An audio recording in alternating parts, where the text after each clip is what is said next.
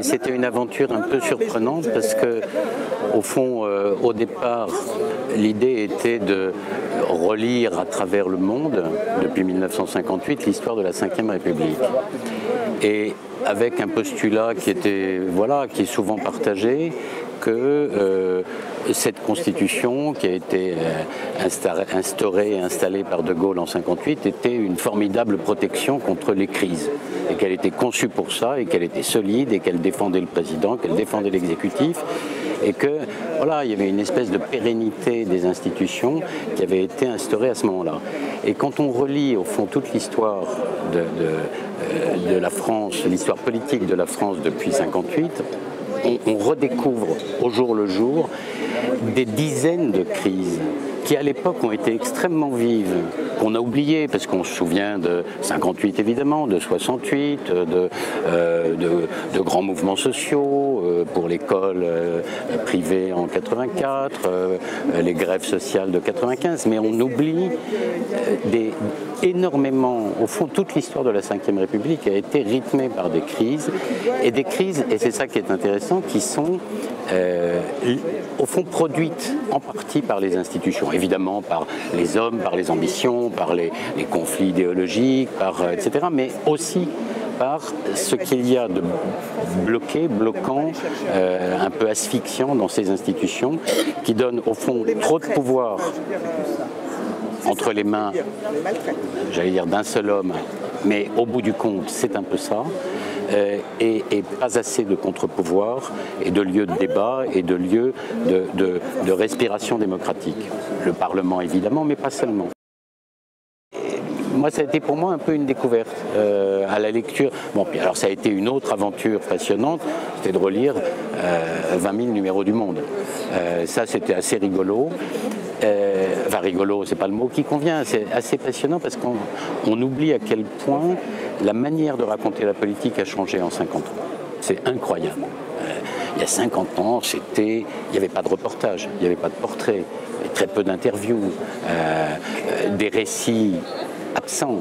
Sur la scène internationale, il y avait tout ça.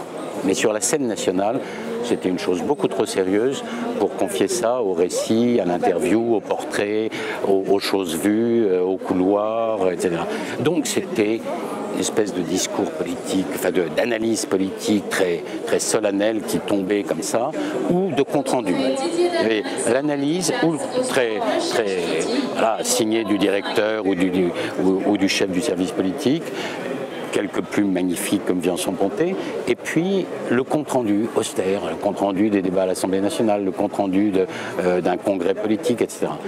Et puis petit à petit, à partir des années 70, alors encore plus depuis une vingtaine d'années, on a eu une espèce de... Enfin, je il y a eu une... Euh, j'allais dire une banalisation. C'est-à-dire que la politique est devenue un objet journalistique euh, tout terrain et, et, toutes, écritures, si je puis dire. Euh, de l'analyse au portrait, des, récits, euh, des, euh, tas d'enquêtes beaucoup plus vivantes que ce qu'on faisait il y a encore 30 ans, et y compris alors ça, c'est un autre aspect de, l'érosion d'une certaine manière de traiter la politique, y compris évidemment tout ce qui ressort de la vie privée, parce que petit à petit, cette espèce de frontière intangible qui était respectée il y a encore 20 ans, euh, s'est effritée, et, on le voit bien depuis deux ans, enfin même depuis, la présidence de Sarkozy, la, confusion entre privé et public est devenue permanente et, on est obligé de la traiter. Euh, c'est compliqué, c'est problématique, mais, ça, devient un, élément de, l'action et, de l'action publique, de l'action politique, de, l'image des hommes politiques, et on, ne peut plus y échapper.